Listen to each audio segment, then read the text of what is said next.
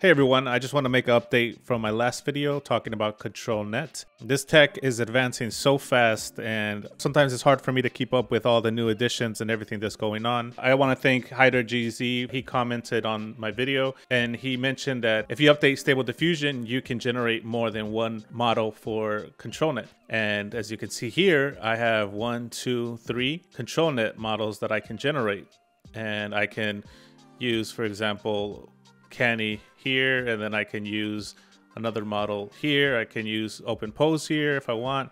And I mean, I don't know if you add too many, I don't know what kind of results you're gonna get, but essentially you can add some more to get a little bit more control of your final output. So the way you can do this is just make sure you have the latest version of ControlNet and then apply and restart. Go into your settings, go into ControlNet, and then down here it says multi-ControlNet max models amounts requires restart. You just put the amount. I'm just going to put two for now. Apply settings and then reload UI and then you should have the amount that you set. I have not messed around with it enough yet to know what it's capable of. And but I did want to mention it because this is such a great addition and uh, like adds so much more control. I uh, haven't had a chance to really look into all the updates that have been happening just because of recent events that happened in my life. But I'm definitely back to creating content, whether it's AI or visual effects. I will be uploading more frequently now. So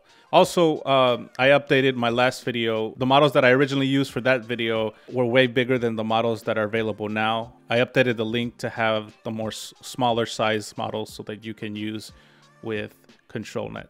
So thank you so much for watching. See you guys later.